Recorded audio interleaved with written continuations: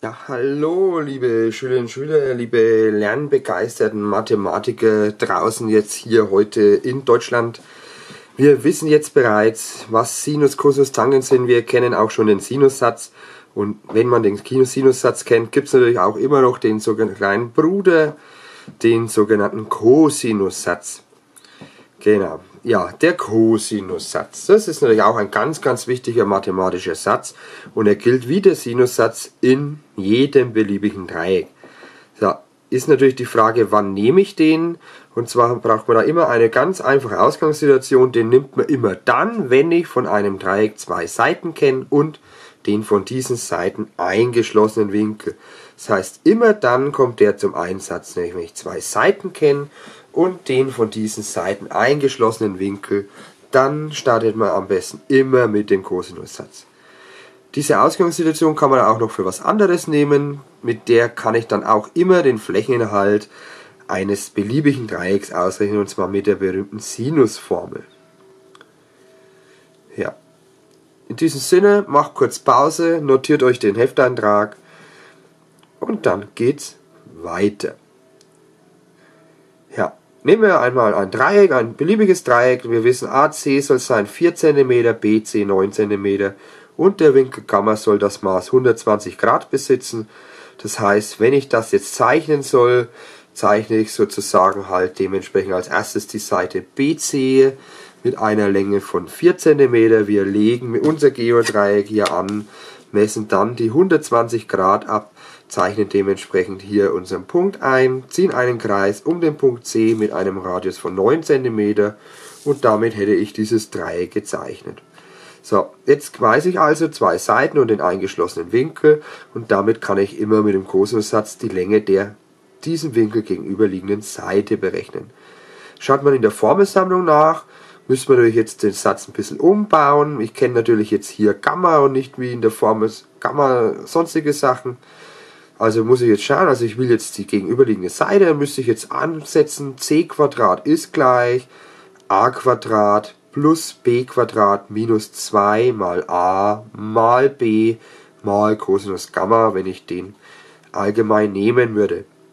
Also ich würde mir den allerdings nicht so merken und letztendlich ich will ja nicht c Quadrat haben, sondern ich muss mir ja eigentlich rausfinden, wie lang ist denn überhaupt die Seite c.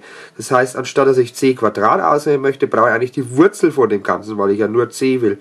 Also würde ich mir den eigentlich immer so merken, den Kosinussatz, auf die Länge der gegenüberliegenden Seite des Winkels komme ich immer, indem ich unter der Wurzel rechne, die Länge der ersten anliegenden Seite zum Quadrat plus die Länge der zweiten anliegenden Seite zum Quadrat minus 2 mal die Länge der ersten anliegenden Seite mal die Länge der zweiten anliegenden Seite mal Cosinus von 120 Grad, also mal Cosinus des eingeschlossenen Winkels. Also so würde ich mir den merken.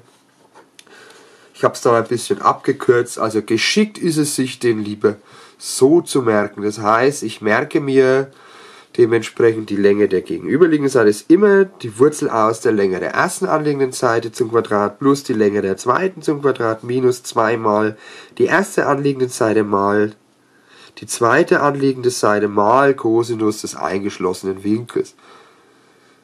Ja. Das heißt, wenn ich natürlich jetzt alles einsetze, was ich weiß, steht da, dass die Länge der Strecke AB nichts anderes ist als 9 zum Quadrat plus 4 zum Quadrat minus 2 mal 9 mal 4 mal Cosinus 120 Grad oder ich sage Wurzel a ist 4 Quadrat plus 9 Quadrat minus 2 mal 4 mal 9 mal Cosinus 120 Grad. Und schon habe ich die Länge der gegenüberliegenden Seite. Würde ich die Fläche ausrechnen wollen, müsste ich natürlich die Sinusformel nehmen, könnte man rechnen, 1 halb mal 4 mal 9 mal Sinus 120 Grad und damit käme ich dann auf eine Fläche von 15,59 Quadratzentimeter. Bisschen aufpassen beim Eingeben, dann wichtig, wenn ihr das in den Taschenrechner eingebt, den Cosinus, und habt es auch unter der Wurzel, müsst ihr hier an dieser Stelle noch die Klammertaste wieder zumachen, sonst spuckt euch der Taschenrechner einen Matt-Error raus. Ja, das wäre der Cosinussatz. Immer dann, also wenn ich zwei Seiten und den eingeschlossenen Winkel kenne, nehme ich den. Ein dritter wichtiger Satz, der steht allerdings nicht in der Formelsammlung, ist aber auch ganz, ganz wichtig für die Abschlussprüfung, wenn man den kann, ist äh, der umgestellte Kosinussatz. Also letztendlich, man könnte natürlich dann auch mit dem Kosinussatz arbeiten, aber man könnte sich natürlich auch merken, wie lautet dieser Kosinussatz eigentlich, wenn ich den umform. Kann man ja mal allgemein sich durchüberlegen.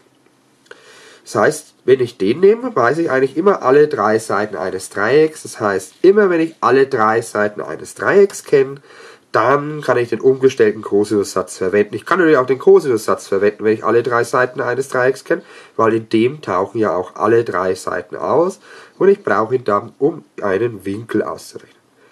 Können wir mal stur einsetzen. Also nehmen wir an, ich weiß jetzt, zum Beispiel, wenn ich jetzt den Winkel Beta ausrechnen möchte, weiß ich ja, dann ist b Quadrat a Quadrat plus c Quadrat minus 2ac Cosinus Beta. So, ich will jetzt Beta. Also was muss ich machen? Ich muss diese Gleichung so umformen, dass am Schluss Cosinus Beta auf der einen Seite bleibt. Das schaffe ich, indem ich als erstes rechne plus 2 mal a mal Cosinus Beta, weil hier Minus steht, damit ist es links.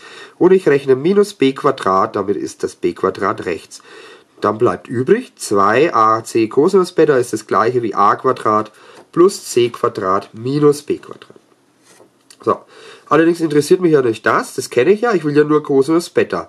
Also, was muss ich machen? Ich dividiere jetzt noch diese Seite durch 2 mal a mal c und damit weiß ich, was Cosinus Beta ist. Jetzt kann ich natürlich alle gegebenen Größen, die ich habe, einsetzen und das mal ausrechnen und dann könnte man es sich ausrechnen. Das heißt, mit Zahlen jetzt, wenn man es natürlich hernehmen würde, ich könnte auch sagen, gut, ich stelle den mir nicht um allgemein, also ich könnte das stur einsetzen. Also ich setze alles ein, was ich weiß. Erster Schritt, ich berechne mit meinem Taschenrechner die ganzen Werte. Da manchmal müsste man dann auch runden, dementsprechend geschickt auf zwei Stellen nach dem Komma. Das heißt, wenn ich erstmal alle Zahlen ausrechne, 9 Quadrat plus 11,53 Quadrat ergibt es 213,94. Ich kann das dementsprechend 2 mal 9 mal 5 ist 11,53, kann ich auch noch ausrechnen, ergibt dann minus 207,54. Damit habe ich eine Gleichung, die ich jetzt nach der unbekannten Cosinus Beta auflösen muss. Das heißt, was mache ich wieder? Ich bringe alles hier mit Plus auf die Seite, die 16 mit Minus auf die. Nachdem jetzt hier natürlich das Mal steht, dividiere ich diese Zahl durch die 207. Damit wüsste ich, dass Cosinus Beta ist 0,95. Das heißt, als nächstes nehme ich dann den Taschenrechner und gebe ein, drücke die Shift-Taste, Shift, Cosinus und dann dementsprechend 0,95 oder Ansichtstaste, nimmt er den letzten Wert her und kommt auf 17,59 Grad. Äh, 49. Ist natürlich eine mühsame Umformung, kann man machen, darf man natürlich dann nirgends verrechnen, weil ich das ständig, auch wenn ich Becher runden muss. Das heißt, einfacher ist es, wenn ich mir das so merke. Das heißt, wenn ich mir das nochmal im Bild anschaue, ich will jetzt den Winkel haben. Ja, was habe ich da eigentlich? Rechne ich da eigentlich? Ich rechne a Quadrat plus c Quadrat minus b Quadrat durch 2 mal a mal c ist der Cosinus Beta. So haben wir uns den hergeleitet. Das heißt, um mir das zu merken, muss ich eigentlich mir nur merken, gut, ich rechne, damit ich auf Cosinus des Winkels komme, also des eingeschlossenen Winkels, die erste anliegende Seite zum Quadrat plus die zweite anliegende Seite zum Quadrat minus die Länge der gegenüberliegenden Seite zum Quadrat durch 2 mal die Länge der ersten anliegenden Seite mal die Länge der zweiten anliegenden Seite. Und so würde ich mir den halt merken. Kann man so oder auswendig lernen.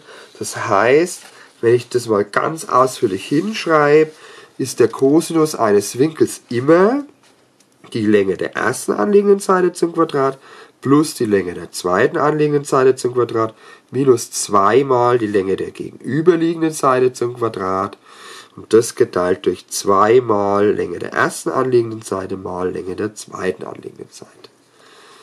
Ja, das hätte ich gesagt.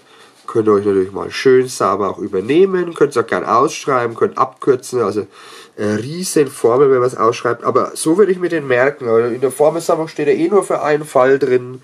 Wenn euch das klar ist, könnt, das kann man merken, das kann man sich merken ist es immer ganz einfach, das mit dem Kosinussatz auszurechnen. Das heißt, in dem Fall wäre dann mein Beta 17,49 Grad. Natürlich, klar, wenn ich jetzt die andere Ausgangssituation nochmal hernehmen würde, in der Aufgabe war ja Alpha jetzt schon bekannt, dann, äh, oder nehmen wir an, ich weiß jetzt Gamma kenne ich und ich kenne natürlich alle drei Seiten, dann, dann könnte ich natürlich auch sagen, ja gut, dann löse ich es mit dem Sinussatz zum Beispiel, käme ich auch auf Beta. Könnte ja zum Beispiel auch sagen, Sinus Beta verhält sich zu 4 wie Sinus 120 Grad zu 11,53. Dann könnte ich mir auch Beta mit dem Sinussatz ausrechnen.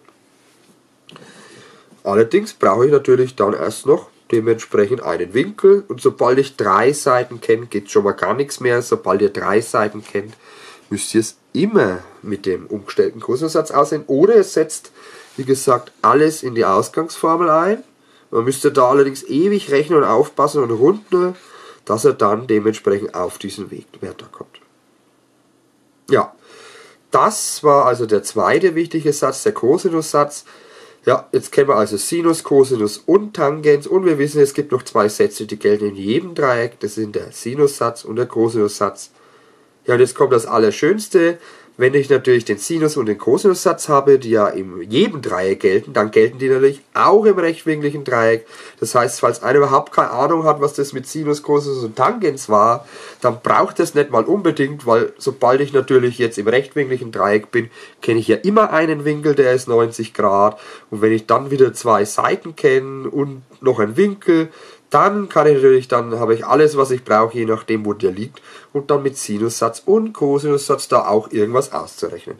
Ist natürlich schreibaufwendiger, mit den alten Formeln geht es schneller und wie das ausschaut, das schauen wir uns in unserem vierten Teil des äh, Crashkurses der Trigonometrie an.